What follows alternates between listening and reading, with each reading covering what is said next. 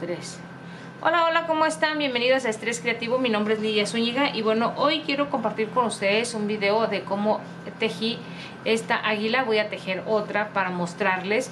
El patrón se los voy a dejar abajo en la descripción del video, voy a estar subiendo videos de amigurumis los fines de semana y bueno, entre semana lo vamos a dejar ya sea para algunas manualidades o las recetas de cocina porque a mí me encanta tejer y pues obviamente es algo que, que, disfruto y me gusta compartir todo lo que hago entonces lo voy a dejar así los fines de semana voy a estar subiendo los amigurumis ok y bueno, ¿qué vamos a necesitar para esto? Vamos a necesitar el patrón, que igual se los voy a dejar abajo en la descripción para que ustedes si gustan ir al blog del artista, pues lo pueden descargar o lo pueden observar.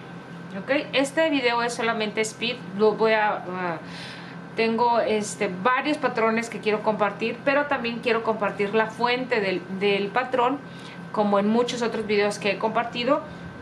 Y pues bueno, es como una colaboración para todos esos artistas que hacen tan hermoso trabajo como este que bueno, nos comparten los patrones y pues ya nosotros nos encargamos de hacer estas cosas tan hermosas. Y se viene el 4 de julio, así que aprovechando la independencia de los Estados Unidos, pues vamos a hacer la águila calva.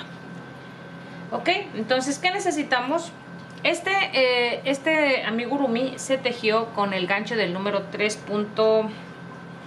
3.25 pero quiero hacerla un poco más pequeña entonces voy a utilizar el 2.75 milímetros los colores de estambre necesitamos lo que es el color amarillo café blanco. Vamos a necesitar agujas ya sea estambrera o de costura, todo depende cómo vamos a, ensamblar nuestro amigurumi. Y también vamos a necesitar unos ojos movibles, que bueno, aquí se los quiero mostrar. Tengo ojos movibles, obviamente los que utilicé para el, amigurumi más grande fueron estos. Son más grandes, entonces voy a ver si le quedan estos o puedo utilizar los más pequeños, ¿ok? Entonces, igual si no tuvieran ojitos de estos, ustedes lo pueden bordar. Que bueno, les voy a dejar eh, otro video de cómo bordar los ojos cuando no tienen, que es una manera muy simple o sencilla. Así que bueno, es solamente bordarlos. Vamos a comenzar con el color blanco.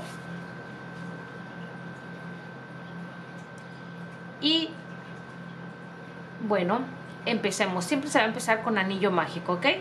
Entonces, este, estén listos que esto va a ser un speed video.